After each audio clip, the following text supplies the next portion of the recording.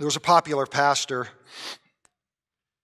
who said this as he was talking about how to reach this new culture, and this kind of goes back to some of yesterday's symposium. But he basically said sin doesn't resonate in this culture. He struggled to reach people in cities by talking about sin. And so he wanted to remain faithful to Scripture, but he just stopped talking about sin and he started talking about idols and idolatry because that seemed to resonate better with people.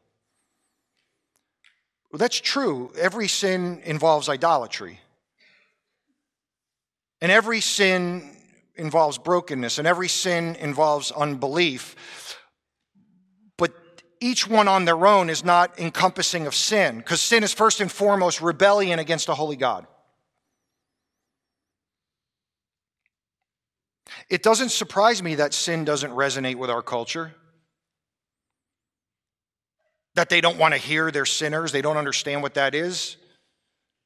By the way, I don't believe that for one second.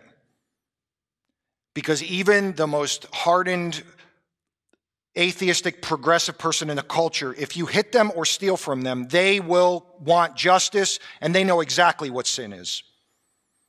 And Romans 1 says, In our hearts, we know what sin is. Same pastor, when asked why, what's the big deal with, you know, uh, homosexual behavior and gay marriage? What's the big deal with it? The pastor said publicly, it's his moment.